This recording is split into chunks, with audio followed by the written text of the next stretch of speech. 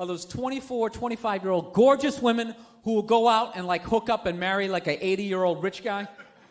You ever seen them hanging out with like Hugh Hefner, some 70 year old guy in his pajamas? Now, if they were just honest about it and were like, look, this guy's gonna die in like seven or eight minutes, I'm gonna get a bag of cash and a Lexus. But they always try and lie and be like, no, I love him for who he is. It has nothing to do with the big yacht. There's just something about the way he drools in his bathrobe as he pushes the checkers along. It's really enjoyable. You just want to be like, lady, you're humping him for his money. Some 80 year old billionaire, rich old lady came walking down the street, started like hitting on me, sitting like, hey there, sonny. You know, I'm sorry. I'm sure you were unbelievable back in the 20s when you were doing the Charleston, making beer in your bathtub, but you were at least four decades beyond humpable. I'm sorry. No, how do you have sex? I don't understand. How do you have sex with somebody 40, 50 years older than you?